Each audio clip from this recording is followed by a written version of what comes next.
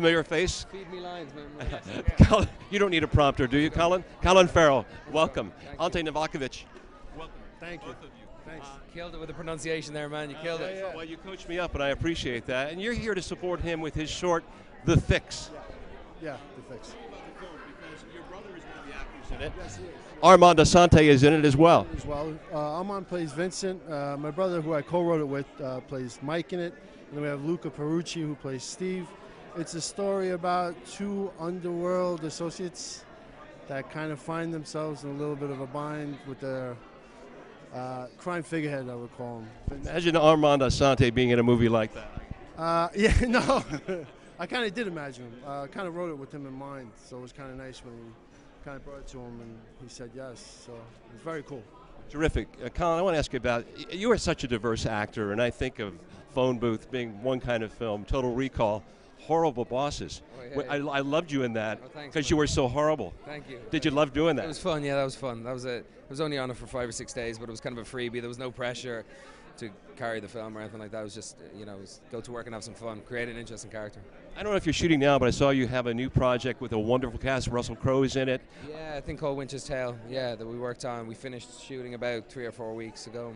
Yeah. When's the uh, release on that? I think I think December. I'm not sure, but I, I heard December. But They just began the process of editing it now, so we'll see. And I don't know if you got to work with her, but I saw that Eva Marie Saint, Oh, I a legendary get to work actor. her, Yeah, and you got to meet her. Yeah. Lovely. Gorgeous woman. Amazing woman. Amazing, amazing woman with an, obviously an enormous cinematic history behind her, and yeah, legend herself. And yeah, she's fun to be around and amazing to work with. I got to do a couple of scenes with her. Tell me about you. Uh, you d- actually work for Colin, so you, Work you together. yeah work together. You see, I like hearing that. Yeah. You're collaborators, so Yeah, yeah. you're encouraging his filmmaking activity. No, I, he didn't need no encouragement. I mean, I, Ante's Ante's a published poet and he's a produced playwright, and this is his first uh, film that he's written and directed. So, I mean, Ante, I nothing for me at all. I'm only here because I'm a fan of his work and I'm a fan of him as a man and a creative entity. So. So, uh, so I'm delighted to be here. I've been dragging him around red carpets for the last seven years against his will. So now it's time, although it wasn't against my will. It's, it's, I'm delighted to be here in support of his film. Yeah. We're delighted you're both here uh, to support Gasparilla International Film Festival. Welcome to Tampa. Enjoy your, man. t- your time here. Thank you so much. Thank yeah. you. Really love being here. Yeah, it's good to be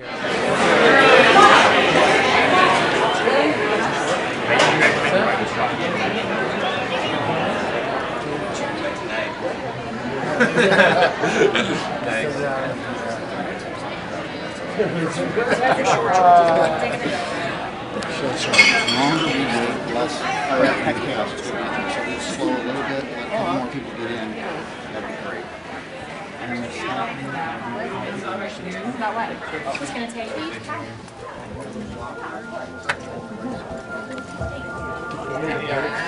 me.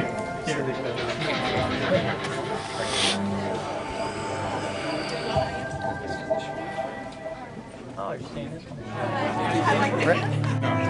one.